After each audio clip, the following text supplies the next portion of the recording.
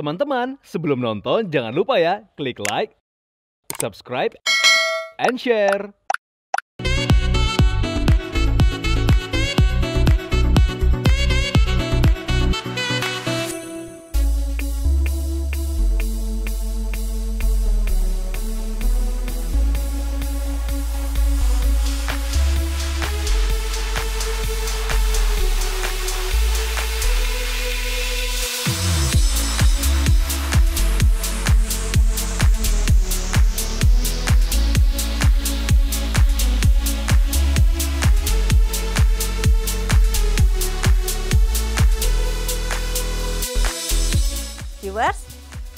Hadapan kalian ada tanaman yang bersifat sukulen yang lain.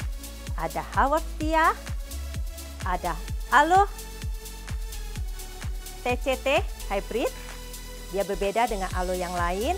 Dia bersisik dan ininya berwarna merah seperti bintang laut, ya. Lalu ada lagi adalah jenis-jenis agave. Ini agave, agave, agave, agave. Dia menyimpan airnya juga di daun dan dia tajam. Ini Sansevieria, ini agave. Ini adalah jenis-jenis tanaman bersifat sukulen di luar kaktus. Nah, sekarang saya mau menerangkan tentang Haworthia. Ini windownya, jendelanya kita lihat, benih. Nanti saya coba pinjam center. Nah, viewers, kelihatan? Benih. Ya, Haworthia jendela ini benih, ini yang obtusa. Dia cantik dan lucu. Lihat, dia seperti anggur. Lalu ada lagi yang ini. Nah, ini obtusanya daunnya memanjang. Kalau tadi bulat, ini memanjang. Benih, ya. Lalu ada lagi yang bisa ngeping. Nah, jendelanya coba lihat. Kalau dia kena sinar matahari, ini yang memang jenisnya bisa ngeping ya viewers. Jangan nanti semua yang jenis ini dipikir bisa ngeping. Ini yang bisa ngeping. Kaca. Ya, ini kenceng, sehat. Viewers. Ya, dia ada urat-uratnya. Nah, lalu ada lagi yang bersifat sisik jenisnya beda lagi. Nah, yang ini viewers turun kata kepotong. Ini bukan saya potong viewers, ini memang aslinya kepotong. Ciptaan Tuhan itu ya. Coba lihat, ini varigata. Nah, bisa kelihatan kan pantulan pink kulit-kulitnya saking dia bening. Viewers, ini Haworthia, tanaman yang sedang banyak digemari. Dia karena lucu, perawatannya lebih mudah daripada kaktus dan dia maunya lembab.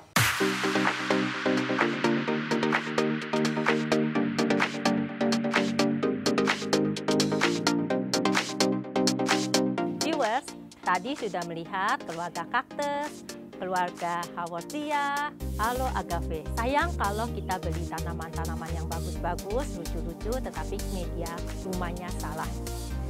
Karena di rumah saya itu kelembapannya tinggi, jadi media yang saya pakai bersifat poros sekali ya. Nah, ini adalah batu apung, agak besar sebagai dasarnya.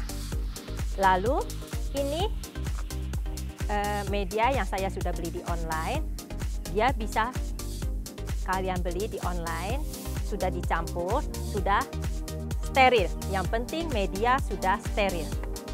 Yang ini media saya beli juga online, tetapi lebih banyak tanahnya. Ini adalah juga jenis batu-batuan yang saya beli online. Ini batu kumis, batu apung, size lebih kecil. Yang ini batu akadama. Batu akadama itu dari Jepang import. Lalu ini adalah pasir malang viewers pasti tahu pasir malang. Hari ini saya akan mencontohkan menanam Haworthia.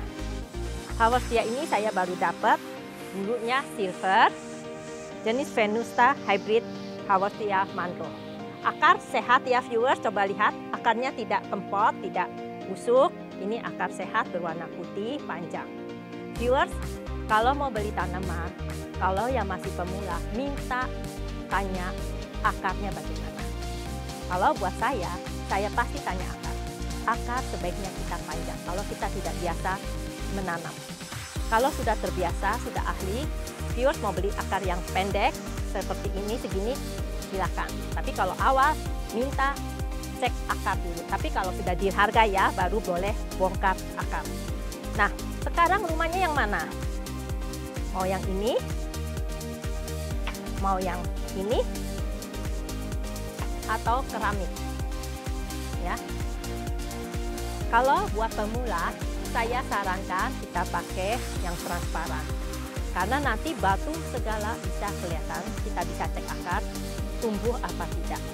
Kalau saya pakai yang ini terlalu besar viewers nanti, kasihan dia punya dia. Jadi saya pakai yang segini saja dulu ya. Nanti kalau dia membesar baru kita ganti.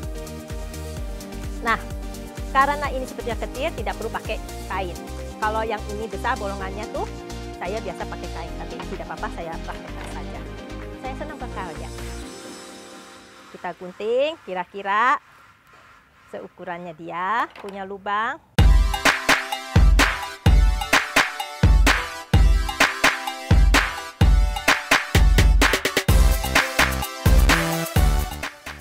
lupa ya viewers, media harus steril. Penting, benar-benar penting.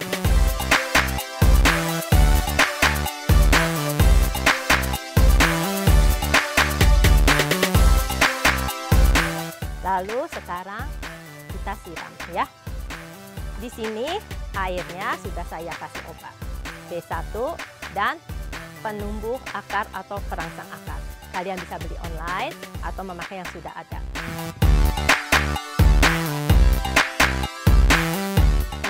Tadi tips dari kami pencinta tanaman bersifat sukulen, kaktus, aloe, agave, dan banyak lagi sebetulnya tanaman-tanaman lain.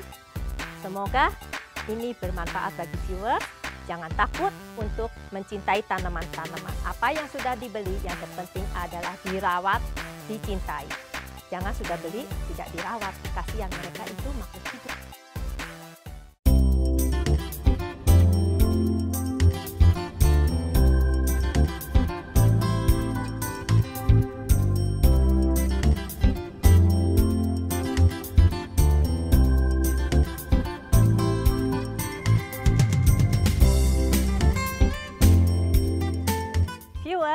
Tadi di dalam sudah melihat tanaman keluarga kaktus saya, lalu sudah melihat keluarga Haworthia, agave, dan aloe vera.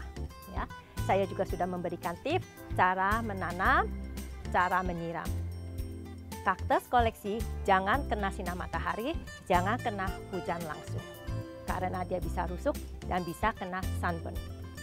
Viewers, Semoga apa yang hari ini saya bagikan, saya dikasih lihat, menginspirasi, menambah pengetahuan wawasan bagi para viewers untuk memilih jenis tanaman yang bersifat sukulen seperti apa.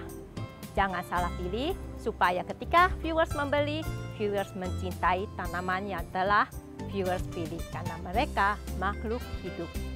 Terima kasih. Dah.